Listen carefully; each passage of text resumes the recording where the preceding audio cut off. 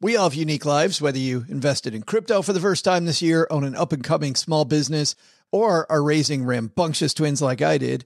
Luckily, TurboTax Live has experts who can answer your tax questions, walk you through the whole process, or do your taxes for you from start to finish, no matter your unique situation. To TurboTax Live experts, an interesting life can mean an even greater refund. Visit TurboTax.com to learn more. You do your thing. They've got your taxes. Intuit TurboTax Live. They're dogs and they're playing poker.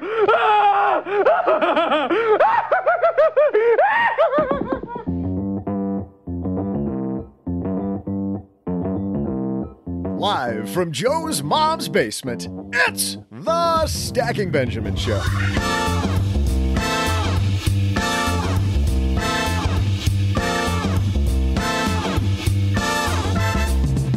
I'm Joe's mom's neighbor, Doug, and I am an independent woman.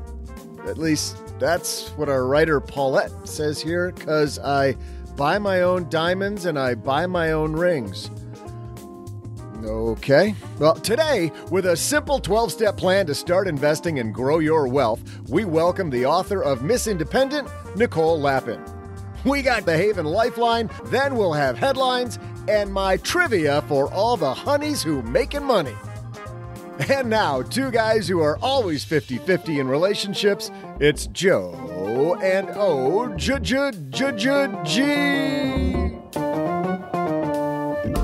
Another harmonious day here in the basement. Welcome to Wednesday, everybody. I'm Joe High Average Joe Money on Twitter, and you've made it halfway through your week.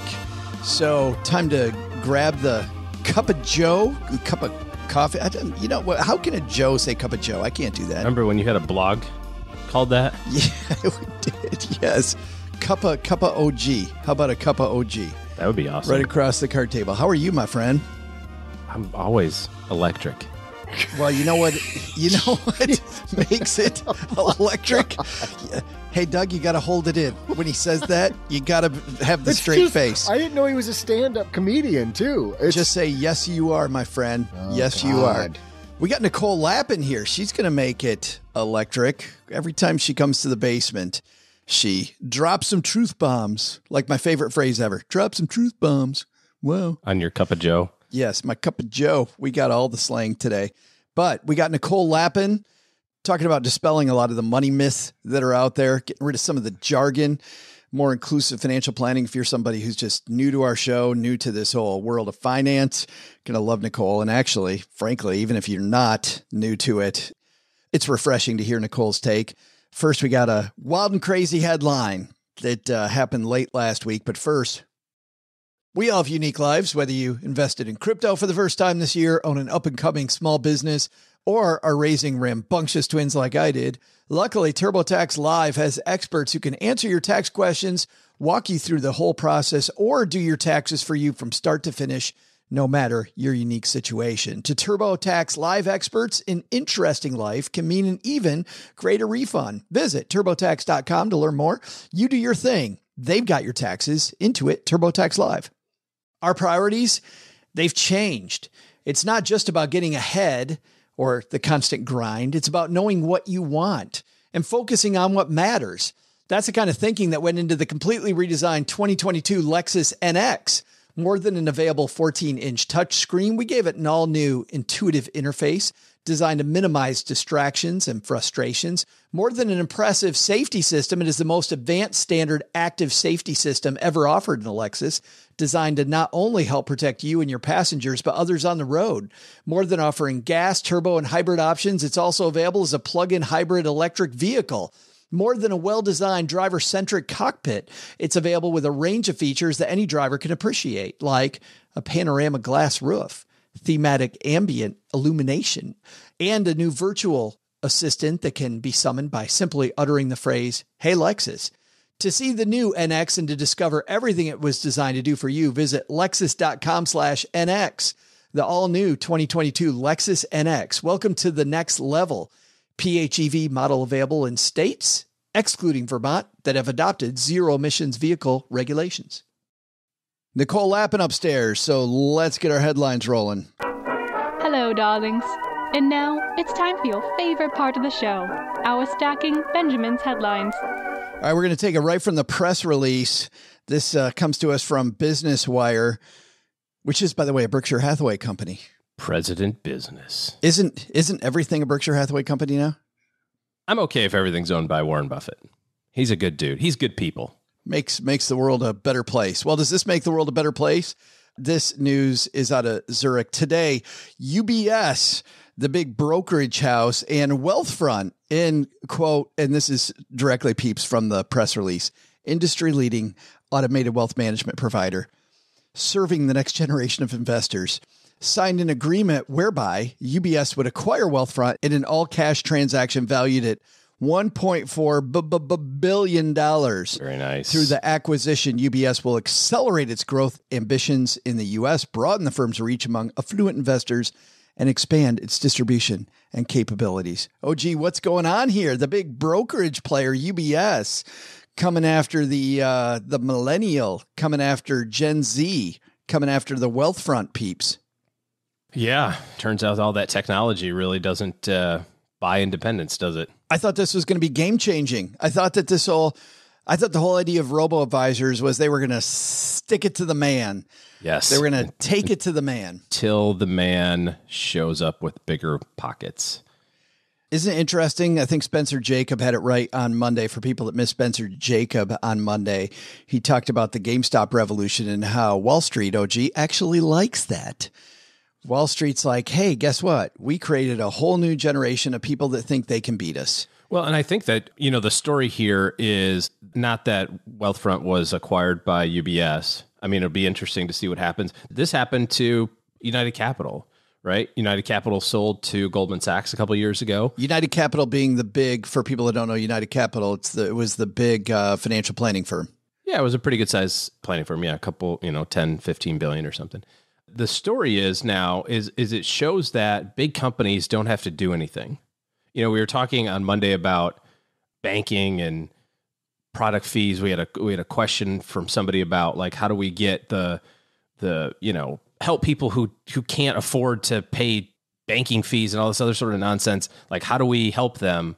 There's no incentive for innovation at the investment level because somebody else is going to do it and then UBS can just come and buy them. There was another article that I read just the other day about how people just despise Vanguard technology. Like the technology platform for Vanguard is trash and hasn't improved. We see it forever. we see it on our platform all the time. People that love Vanguard, everything else about Vanguard can't stand using the website. They talk about how onerous yeah, it is or, and or sitting on hold for three hours to talk to somebody, you know, that's an easy transaction you should be able to do online. Well, they, Um, yeah. I mean, they have problems listening to people. They've only got one ear. Talking about Van Gogh, right? No? How long have you been sitting on that one? been waiting on that joke for like a month. I know. I got to use it. Just waiting for one of you to complain about the customer service. And I'm like, yes, there's my opening. That didn't that didn't come out when I used my real voice the way it did in my head. I thought it was going to. thought it was going to be way funnier. oh, it was. Just Mhm. not to Captain Grumpy Pants. Continue, OG. Okay, that's enough crickets. But this We get wasn't it. the this wasn't the issue. This wasn't the, the only issue with Wealthfront. I mean, Wealthfront for people that are new to the show and haven't seen this incredible story, the whole story arc. Let's go back to the beginning. Wealthfront, Betterment, the whole robo advisor trend. The first thing that you and I reported on was that the term robo advisor is a horrible moniker because Yeah. there's no advising going on. There is digital automated diversification, which is not what an advisor does. An advisor might outsource that to somebody like like Wealthfront, but there's no advising. Then the second thing that we reported on was how these companies that were going to change everything and we're going to all lower the fee schedule for the average person had to find ways to make more money. So Wealthfront had to create some funds, some internal funds that looked a lot heavy on cash and a little bit higher fees than the ones that they had so that they could actually start bringing in some money because this idea of sticking it to the man wasn't really working. and and put all of your money into it without telling you. Yes. Im- immediately you go into our fund so that we Yeah. need, we can make more money. And then now, well, guess what? We we need an investor exit and uh UBS is it, it I don't think it was ever about you. Well, I mean, But you being the investor, is it ever? You being the investor in Is it ever? Well, it, it needs to be. I, I do think Vanguard. Let's go back to Vanguard. I do think Vanguard's about the investor. There's no motivation to make it better. They're rolling in assets. They got a bunch of people that are out there saying, "Go with Vanguard." I mean, go into any online forum. Everybody says, "Go there." So the average investor goes to this website that is suboptimal and goes, "Well, I guess I got to endure it because everybody there, there's no motivation, OG, for them to change it with yes, Vanguard." but- that's right. So why? but I do think that, you know, when you look at their low fee approach, I think Vanguard is about the investor, though. I think they look at what they need to change on the wealth front, front on the front of Wealthfront, on the, front, back on the, Wealthfront Wealthfront front. porch, back into the front of Wealthfront, back, back to on the front. We'll just call it the front. Yes. Maybe that's what they'll change. is their this name whole to, thing in the front. front? Is this whole headline in a front? Oh, uh. oh, nice. That was a good one, actually. Verbal ninja. Well, like a green belt. Let's not. Can quite- somebody say something of substance? Possibly. All right. back on uh, the Wealthfront. I'm hoping that this will open up a path for the brokers at UBS to be encouraged to work with people who are under the you know 250k or 500k limit that they put on on their commission platform.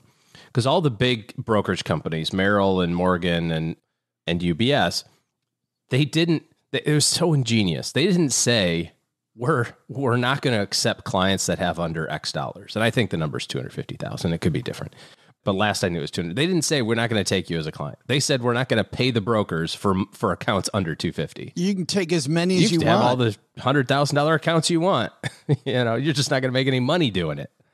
So obviously that that skews the people that are interested in helping for advice. That skews the you know the demographics there. So maybe by this acquisition, that will have a path for people to get advice.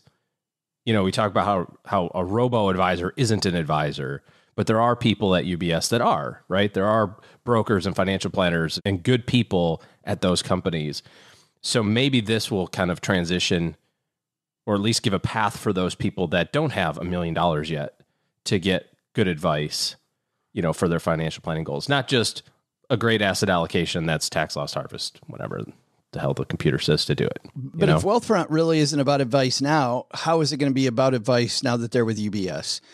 Like, how is that going to? You're hoping they start attaching this to something. They take the technology and they attach it to something more. Well, that's what they're going to do. Absolutely. Yeah, that's 100% what they're, they're going to fold it into UBS.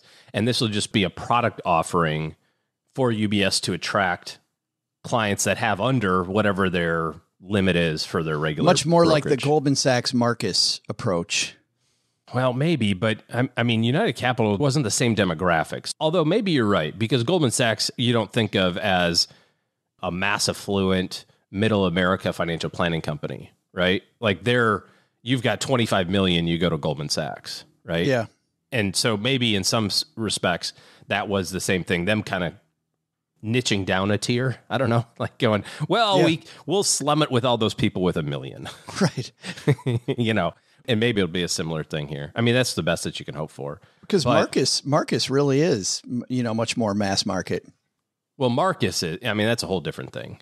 Yeah, but it's a part of Goldman Sachs. I'm saying this might work in a similar way. Yeah.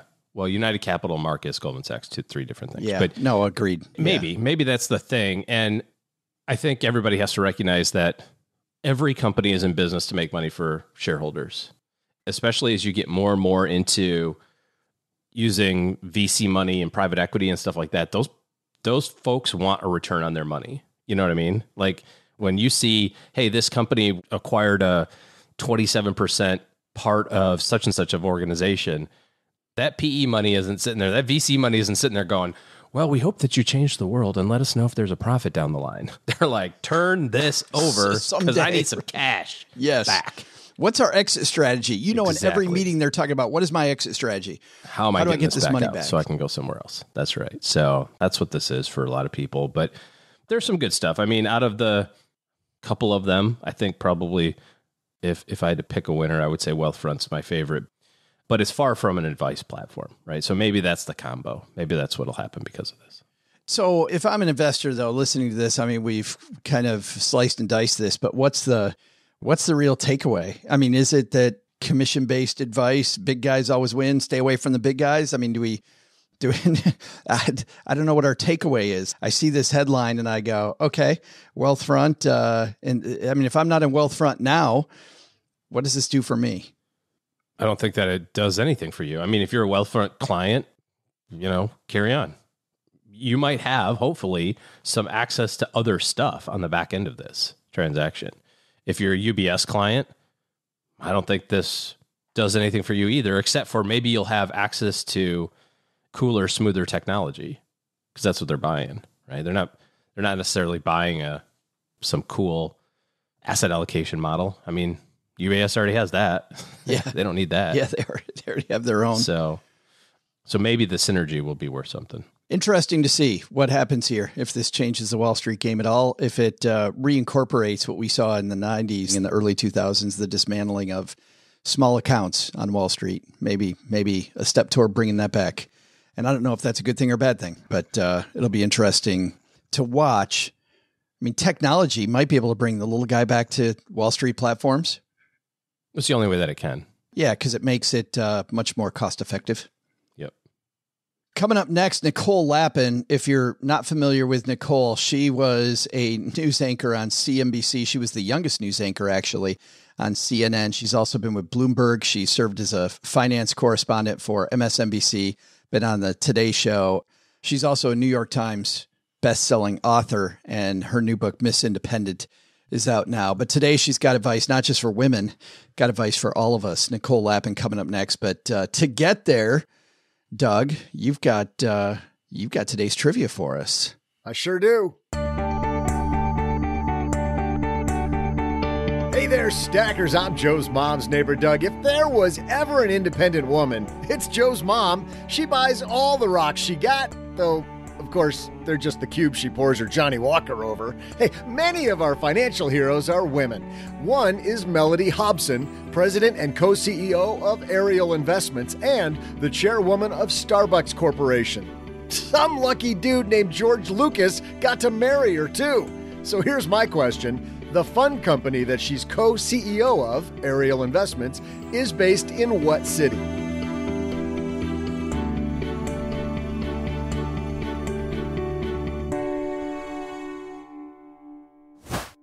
Do you own or rent your home? Sure, you do. And I bet it can be hard work.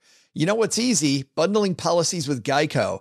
Geico makes it easy to bundle your homeowners or renters insurance along with your auto policy. And it's a good thing too, because you already have so much to do around your home. Go to geico.com, get a quote, and see how much you could save. It's Geico easy. Visit geico.com today. That's geico.com.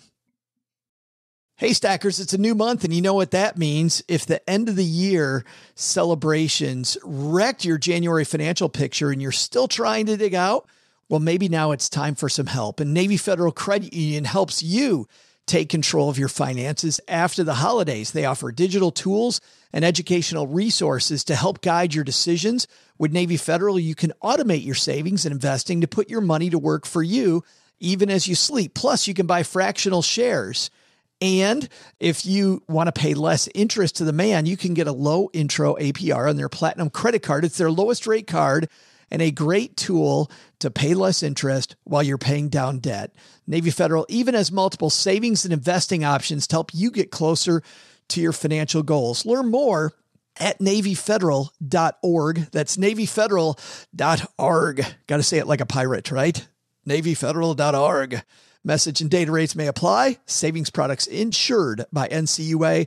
Investment options are available through Navy Federal Investment Services and are not insured by NCUA.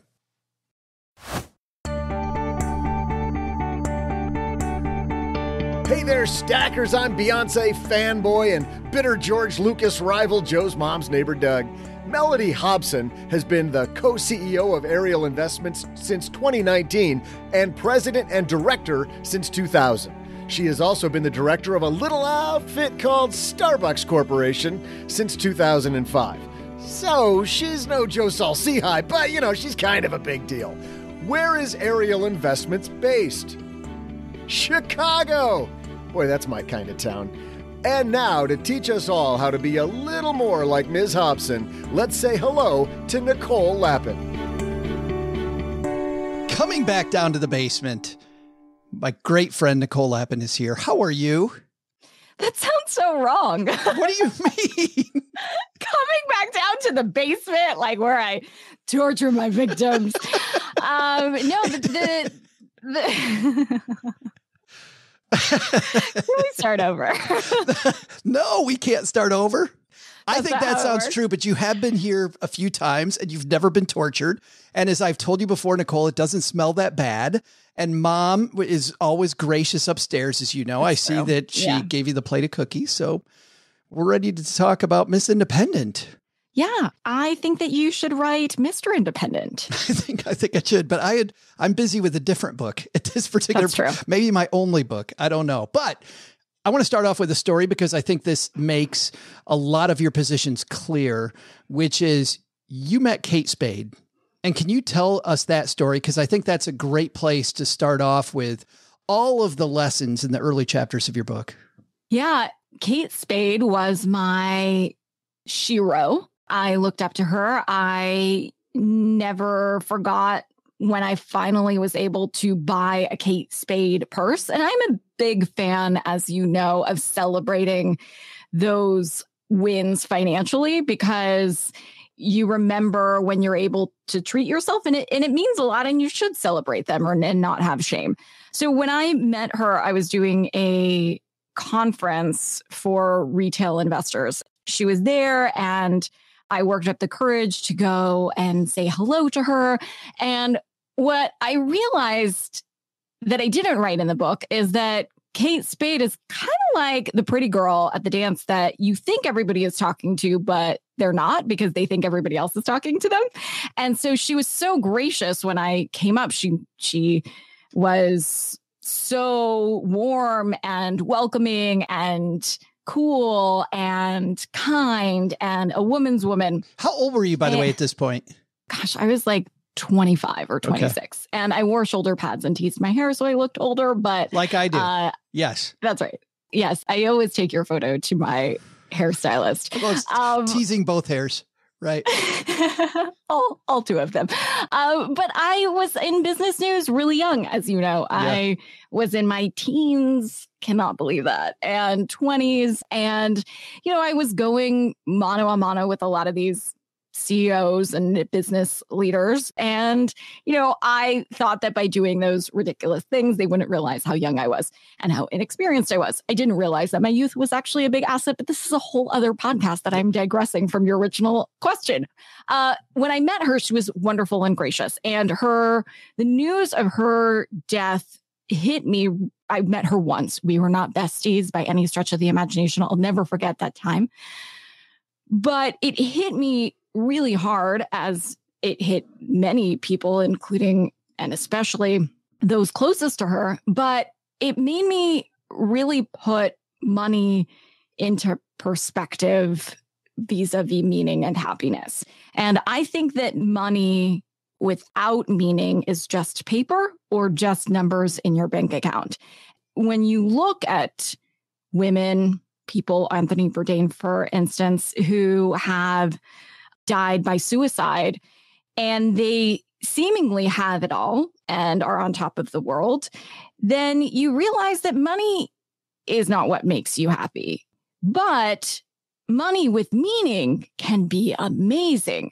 Now, I'm not here to speculate, of course, on any of the circumstances surrounding that, but it really serves as a great reminder to me that some of the wealthiest people out there are some of the people that are most unhappy in a lot of ways, whether you see it or not. And as you know, there's this sweet spot around salary and how much money you make that is this optimal area for happiness. And so I think a lot about what money means and the power that you can wield when you have it and how you can use it because you can use money in a lot of different ways. Like you can use a hammer to build a house or to tear it down. You can use superpowers for good or evil. So it's more about how you end up using the money that you make than anything else because money is a mind as you know you know whether you have money or whether you don't have money people are ashamed they're ashamed that they have a lot of money and they want to hide it. They're ashamed that they don't have a lot of money and want to hide it. And so I think the biggest impediment to a lot of folks getting their financial lives together once and for all are all of those stories we tell ourselves about money. We can't do it. We don't know the math. We don't, yeah, we're not from money, all of these things. Well, you've never been a big fan of cliches. And I really feel like over the past, I don't know, six, seven years, this seventy, eighty thousand dollars, whatever it is with inflation now, right? Inflation huge lately. Maybe now it's five hundred. I don't know what it is, but whatever this this idea that we get to a certain amount of money. And don't get me wrong, there's Maslow's hierarchy of needs, and then we're okay. But this idea that having eighty thousand dollars a year is somehow going to make me happier, you're saying is a cliche that means nothing.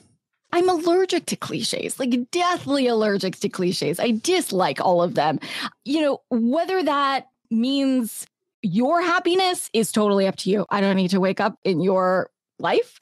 Only you need to. And really figuring out what you want to do with the money is much more important because it's easier to reverse engineer to figure out how to get the money to live the life you want because goals have price tags, as you know. The bigger question is, what do you want to do with that? So when people say to me, Yeah, I just want a million bucks, I'm sure you've heard this too. Like a million bucks would be my goal. That's amazing. Who doesn't want a million dollars? Nobody.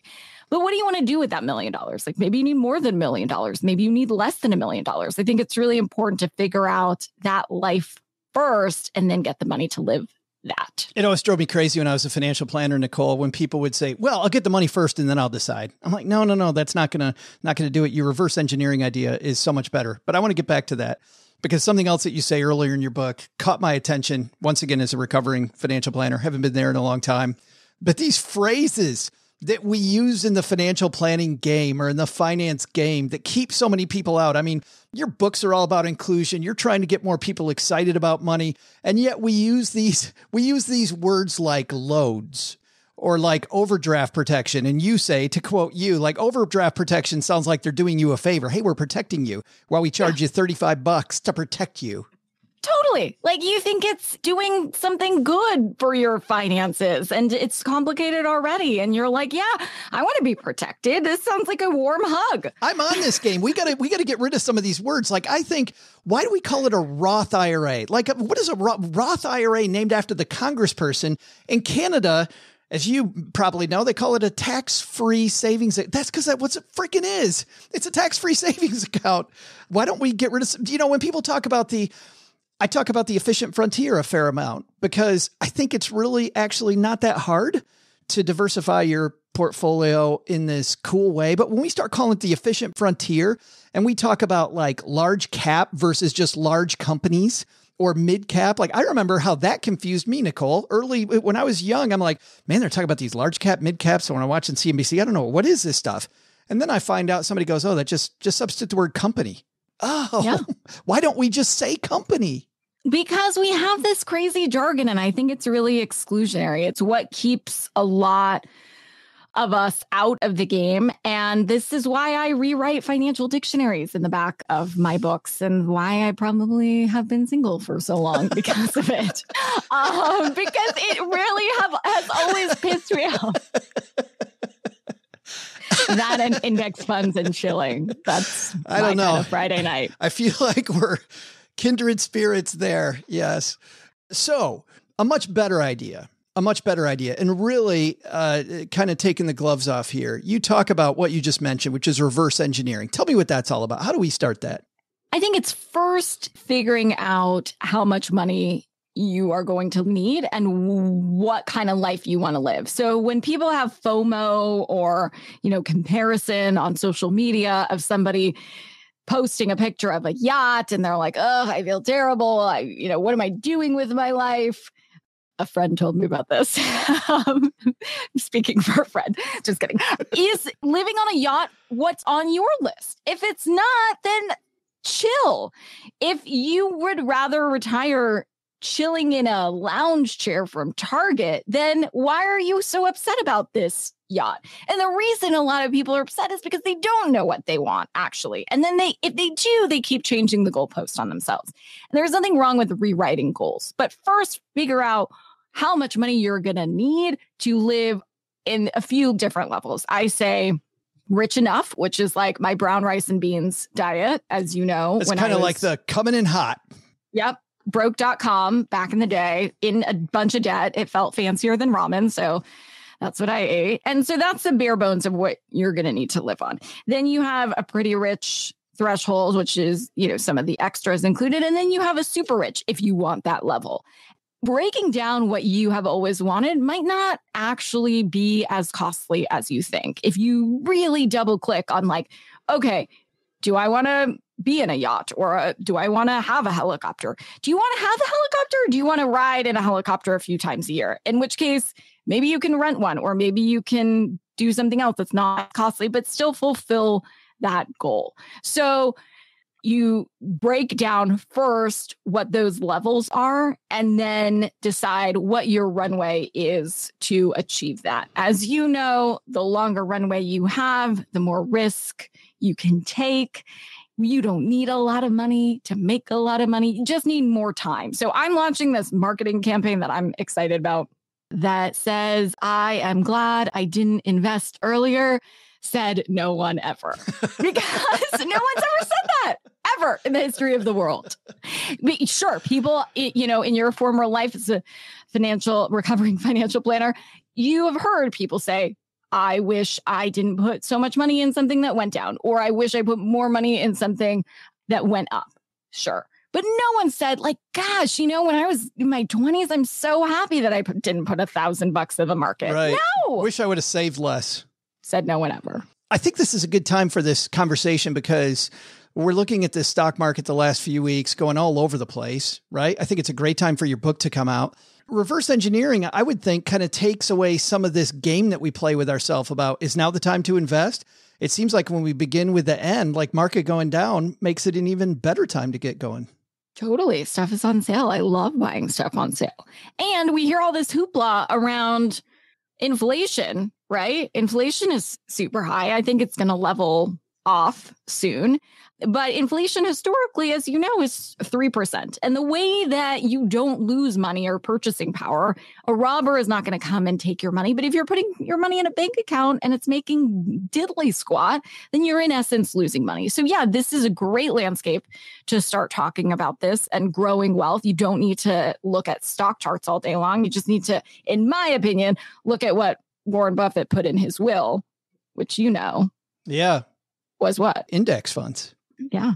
Just, he, he, wrote Vanguard, but whatever you want. Vanguard S&P 500 sure. index funds, Schwab is S&P 500 index funds and chill. And so getting past the jargon is the first step. The only financial problems you can't fix are the ones you don't admit you have. And I think we all have problems. We all have issues and we're seeing a lot of macroeconomic issues going on supply chain and inflation and market doom and gloom and all of the rates and whatnot. But the only thing we can actually control is ourselves and our own little micro economy, our own little one. Like that's our own self. You talk that's about it like a thing we can control. You talk about it like a 12 step program. You can't do anything until you admit there is a problem. No matter what that's it right. is. And I know every every person listening to this, I'm sure we've got something that we know that we need to do better with our money there's always something. Like when I was a financial planner, there were certainly people that didn't need to hire me, but there was never a person that came into my office that didn't have one thing that didn't need a little tweaking. Sure. Or, you know, there's always more jargon to learn. Like you and I before last year, I mean, we knew about cryptocurrency, sort of, right? But we didn't know about NFTs, or I didn't, or Dogecoin, or right. all this other stuff. You know, so the the language keeps evolving, and so as soon as you get the baseline and the basic terminology down, it's going to change. It's going to get more weird. Where do we go with crypto? Where do we go with cryptocurrency, Nicole? Is that based on our reverse engineering? Uh, you know, so cryptocurrency is is toward the end of Miss Independent because it's in the riskiest assets. I like to say limit your exposure to cryptocurrency to 1% of your net worth. Now, everybody has a net worth, not just rich folks have a net worth. So take your assets, you subtract your liabilities, and well, bam, you get your net worth. Keep it to that because you can afford to lose 1% of your net worth, but you kind of can't afford, using quotes, to miss out on the upside if 1% becomes 100%. I like that take, though. Don't be afraid to stick your toe in the pool. I'm not super bullish on all things cryptocurrency, but that's a whole other show. It totally is. No, I think the I think NFTs and what they represent, you know, blockchain wise are fantastic, but the idea of buying 8-bit art just I don't I don't get it. I think that that's kind of got beanie so babies old, written Joe. all. It's got beanie babies or whatever the Tamagotchi or the pet rock or whatever the thing was. Tulips. Like, yeah, think about the tulips. Wow, you are old. I'm so old. That is, that's going way back. Sultan tulips. you talk about a few different pieces of conventional wisdom. You already talked about one. I want to be a millionaire. Your answer today was for what? Uh, conventional wisdom piece number two money brings you power and significance. Is this the Kate Spade lesson? I think so. I think that it brings you what you decide it will bring you. And if it's power, decide what kind of power it is. If it's choice, maybe it's a choice to leave a crappy relationship because you're, I mean, I've heard for too many women that they're in abusive relationships, but they're scared that they're not going to be able to support themselves. Money gives you that freedom and that choice to leave a dead end job or to travel if you want to or to work only if you want to. And and these choices are very powerful. But like i said with any tool or any superpower they can be used for good or evil. There are so many topics in this book where the book is written for women. However as a dude reading your book there's so much that I got out of it. But Nicole, here at the end, I want to talk specifically to women in our audience because you talk about a couple things here, which really made me angry. And, and by the way, it wasn't your Ooh. take. It wasn't your take that made me angry. It's that these still exist. And maybe yeah. it's because the last decade of doing this podcast, I kind of live in this la la land now that things are better than they were and things are really coming along. But based on some of the things you wrote, they're not that much better. And one was you say you hear far too often, far too often that managing money is a guy thing. What's that crap about? Yeah, it pisses me off. And look, I love dudes. I'm marrying one. I think it's really important to but have. You're marrying everybody. a Joe. Let's let's be I'm clear here. You're Joe. marrying a Joe, Those which is my favorite kinds. The perfect guys. people to marry. Yes. anyway, right. yeah.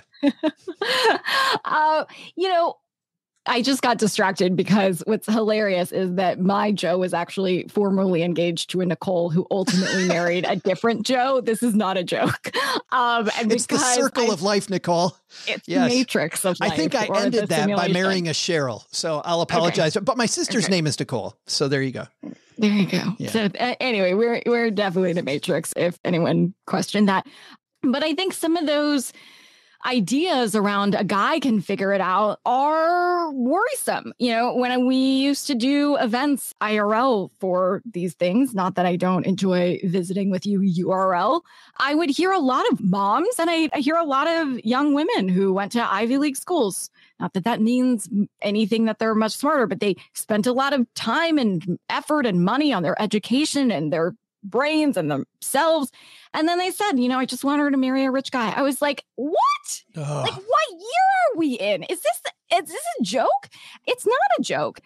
You know, the reason that I write my books toward women is because you can't be all things to all people or nothing to anyone. And I wanted to talk in my books particularly to my former self, who, by the way, you know, if you never thought, and, and you're listening to this and a woman, that the balance of power was not affected by money in relationships or that you never thought a guy was just going to handle it, then you're a better woman than I am because I've thought that in the past.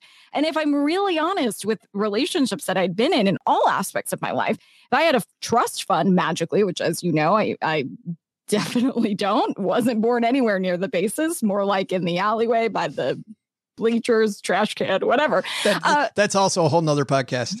It is. We have so many podcasts. Maybe we just need our own offshoot podcast, Stacking Rich Bitches. So those dynamics would have been different. And money does change dynamics, and money is different for women.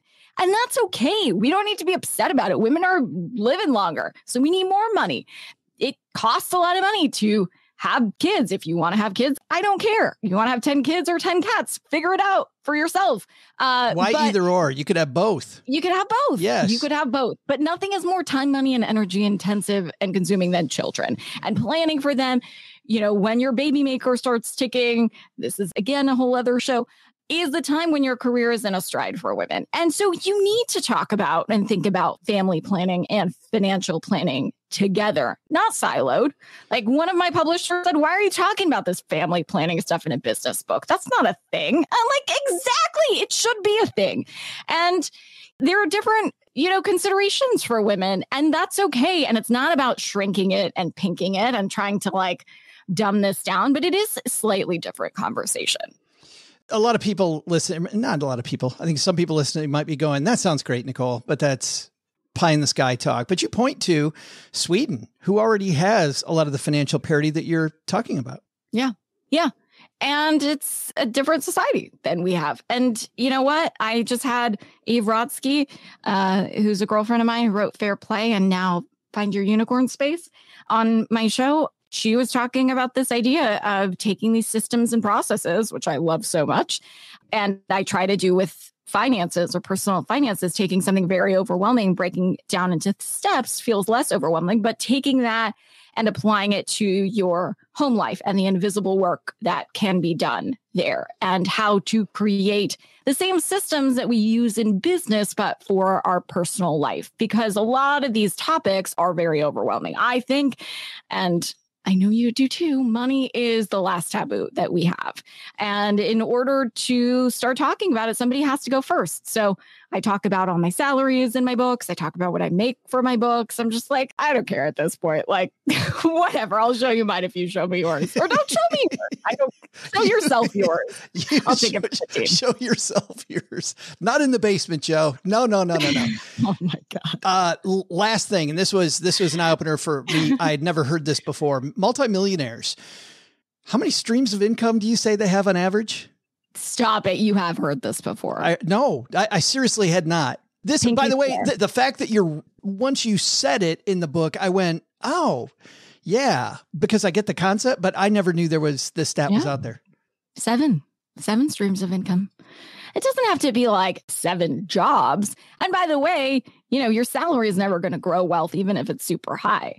Your base salary isn't. Saving and budgeting is not going to grow wealth. Investing is going to grow wealth and a lot of different streams of income, which don't necessarily have to be salary based. So dividends and, you know, interest and properties and royalties and all sorts of stuff can amount to streams of income or mailbox money or whatever you want to call it that contribute to most of what makes up the income of millionaires, multimillionaires. I love that. And then you you talk, and people can look at this in the book. You go through your streams of income personally. It's talking about get naked with your money. I mean, you go through it all and tell everybody all that. The book is Miss Independent out yesterday. Congratulations. Thank you. And thanks, Nicole, for hanging out with us again. I've- This is, this, I feel like you're one of those people that I know very well, but we've talked like four times ever. I know, but we're still best friends We are Right? BFFs. Absolutely. Absolutely. in my mind. I pinky swear. Yeah. Hey, this is Pete the Planner, USA Today money columnist and host of the Ask Pete the Planner podcast. When I'm not fixing the weirdest financial situations you've ever heard of, I'm stacking Benjamins. Big thanks to Nicole. You know, I got to second what she said there, OG, about the jargon.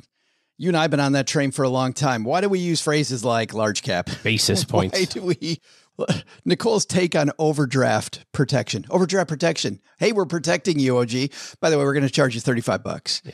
so that we can protect you. So that you're protected. Yep. Overdraft protection, not for you. Protecting the bank, I think. Uh, hey, let's throw out the Haven Lifeline and we'll tackle some of life's most important questions. Our friends at Haven Life Insurance Agency, Doug, they put what you value first. Uh, what I value most. Uh, I find the hacky sack I lost in 1996. Well, what's cool is you got more time to look for it because you're not filling out those stupid applications, those long old school life insurance applications with questions they already knew. It's all online. Process is simple.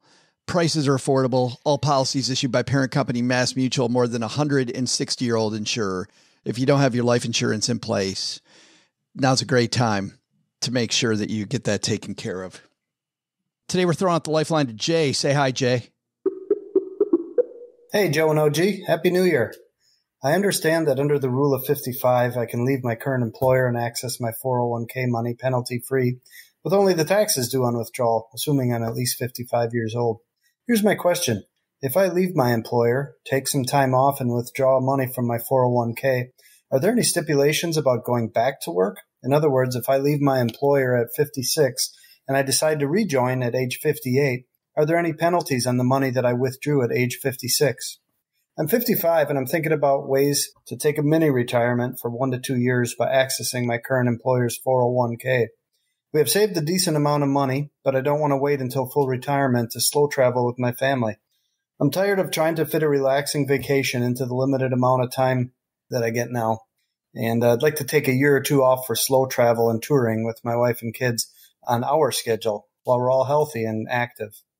My plan would be to retire from my current employer at 56 take a year or two off, and then I would plan to return to full time work until 65, either with my current employer or another company. I work in a field where I feel confident I could get another job with similar pay and benefits as my current position. Let me know if you can shed some light on this aspect of the rule of 55. Thanks, guys.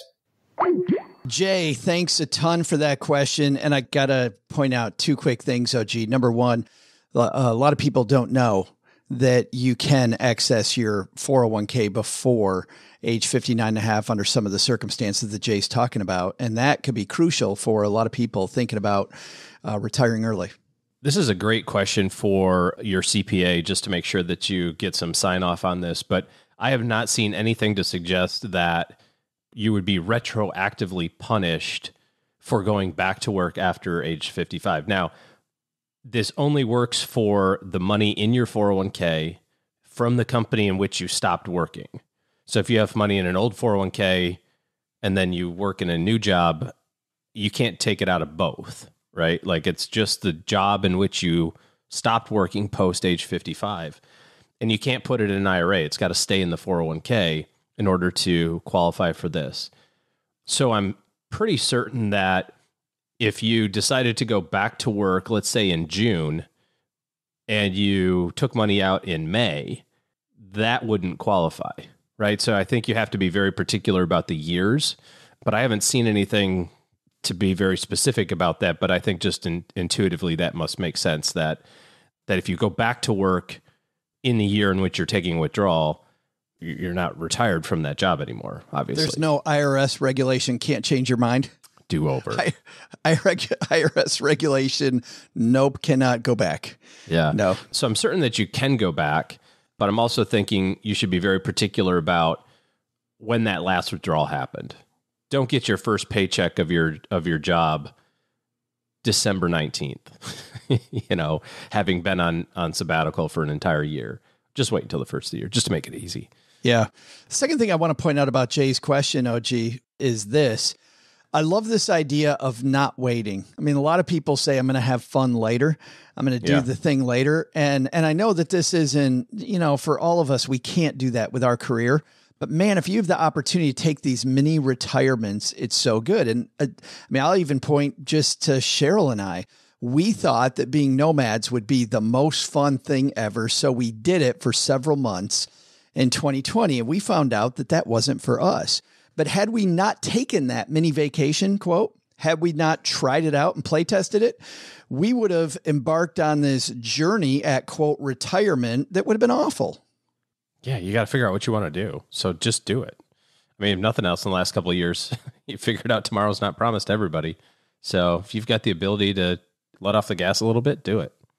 Did we actually answer his question? Was that his question? Just can I? Yeah. Can I do it? Yeah. So Jay, we love what you're doing. And a uh, very simple answer. We believe there is no take back rule, but Uh, oh, gee, love what you said. Check with your CPA. This show is for entertainment purposes only, Doug. if you've got a question for and happy new year to you also jay. Thanks for calling and uh, for jay being brave and asking a question. Gertrude's gonna send him a code so he can check out some uh, swag. Our haven life greatest money show on earth shirt is uh, pretty amazing and jay's gonna get one. You got a question for us? Stackingbenjamins.com slash voicemail all right, just a couple quick things. Are uh, if you get the 201, our our referral contest coming to a close next week. So make sure you get those uh, referrals in to win either a Tiller subscription, one of five of them, to win a Sonos speaker, to win one of five of our favorite uh, board games. Stackingbenjamins.com slash 201 to sign up. That those are deep dives, but also those are to get our deep dive newsletters.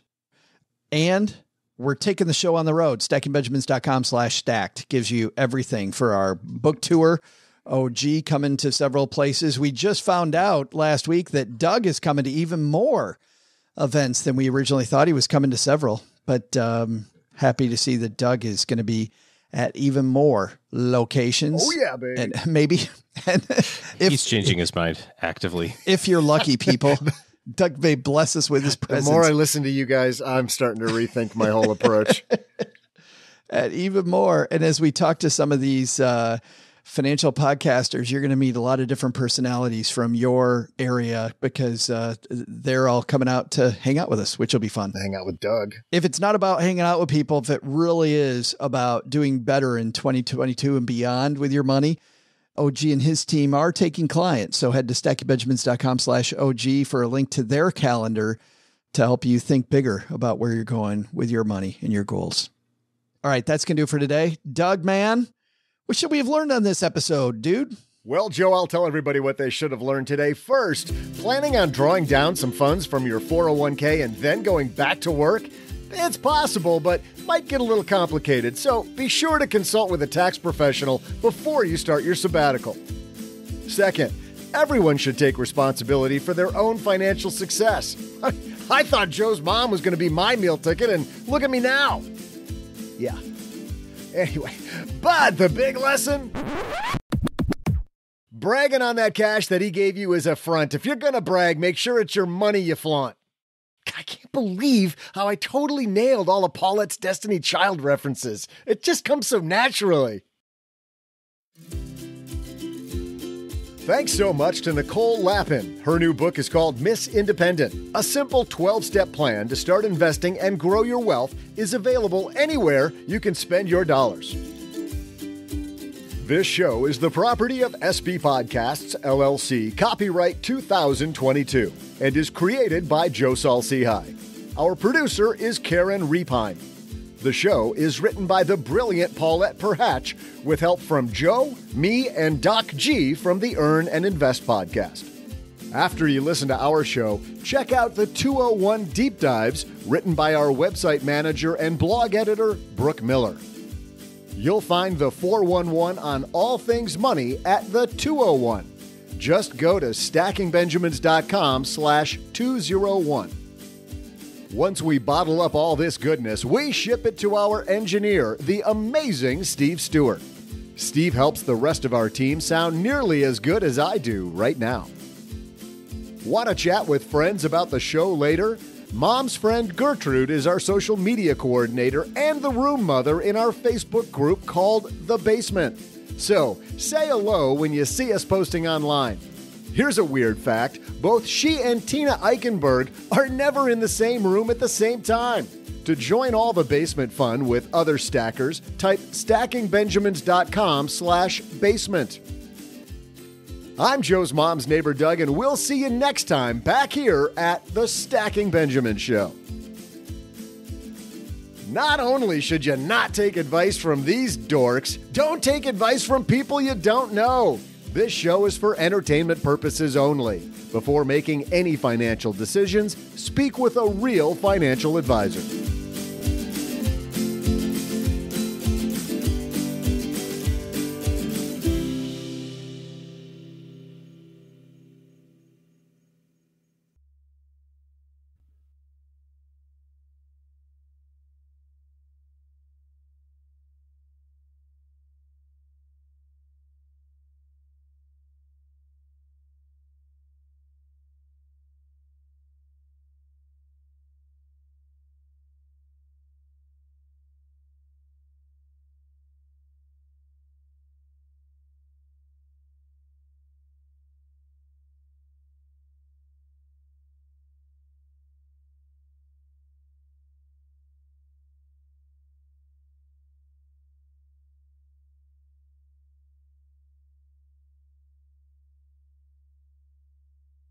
I was very excited as we all came down to the basement to start recording.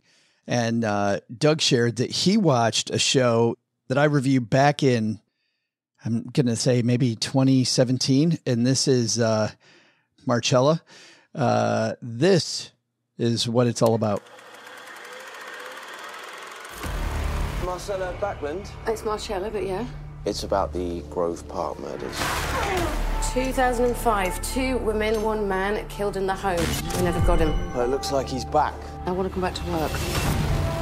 Why are you asking questions about Peter Cullen? Do you want to know if I'm the Grove Park killer? We've looked into it, we've ruled him out. These last few years, I've felt alone. Don't love you anymore. That is Marcella's husband saying, I don't love you anymore. And the show opens up that Marcella is uh, newly divorced or on her way. I think they're separated. Yeah, they're separated. Yep. Yeah. And her husband is telling her, Hey, I don't love you anymore. And she's been stay at home mom as her husband is a high powered attorney and is, uh, is uh, the breadwinner. She, though, in her past life, was a fantastic, apparently, like the key investigator on their homicide unit. And I think it's in London. I'm fairly It certain is. it's London. It- it's definitely London. Yeah. yep. And so she goes back to work and she immediately starts hunting this killer that you heard in that trailer. And uh, you're going to learn this at the end of episode one, which is the big hook in this series, which is that she can't rule out the fact that she might be the killer. Yeah. Yeah, and I don't think it's giving too much away because you find it out pretty early on that she has this unexplained medical condition where she blacks out, and that's why she's not sure whether or not she might be involved in this or not. And They call and it Johnnie Walker syndrome. Joe, you too may have committed a murder. I thought I just went on Twitter at 1.30 in the morning. Tur- turns out I capped somebody. Some of us go drunk shopping online. you get out your steak I knives. ordered a, I ordered a bunch of Cutco knives and used them. Night number one. Yeah, but it's very well acted, especially by, and I can't remember her name right now, but but the actor who plays Marcella, I know it, but she's really believable, and uh, I think colloquially they might call this a procedural crime drama, and I don't like that term because it sounds tedious. It makes it feel like okay, It we're does, just going through like the a motions, paint by numbers. Yeah. yeah, and it's not at all like that. Or I don't feel that way when I'm watching it. It doesn't feel laborious. It's it's really engaging. I watch this show by myself. Uh, most shows Cheryl and I watch together, and she watches a lot more shows than I do. But uh, this is a show that I didn't watch with Cheryl. I've been talking about it for the past three years with her, and I, I like this show enough, Doug, that I would I would watch it again just to watch it with her. Wow. Yeah, I, I've I know shows like that, and and you know you might on things like this where there's so many little details where there's investigation of a murder, you could have missed some stuff that you didn't catch the first time around. This is not as good when it comes to, you know, these police who done it and maybe the criminals in front of your face, maybe they're not, you don't know. Not as good for me as Broadchurch was, Ah. but definitely definitely a big fat thumbs up. Like huge thumbs up for Marcella. I think you agree then.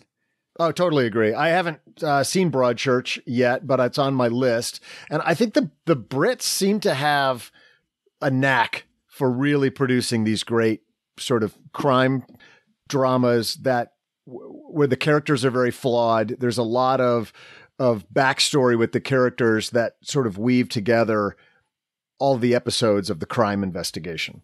You know, they they link things together really nicely with the backstories of the individuals. They all could be guilty across the pond. You're all maybe guilty. That's right. There's a lot of dangerous stuff happening in Europe. I, it's a good thing we're not allowed to travel there because it's you're gonna die. And then you wake up that day and you find out it could have been you just because you flew overseas. And you're in a bathtub full of ice and your kidney's gone. I got to tell you, the bathtub scene, by the way, at the end of episode one, is uh, one to watch. Okay. That that that sounds kinkier. Yeah, I was gonna say it's not. Don't get your hopes up, people. There isn't. I'm in. I'm it's in. not that type of bathtub Oh, scene. gee, at the beginning of every episode where it's like MA, language, nudity, violence, and you key in on the nudity part, it isn't, there isn't that much. You're going to be disappointed. I don't key in on nudity. He keys keys on explosions. It's definitely the violence. Explosions and Keeps it up violence. us. Ooh, there's violence.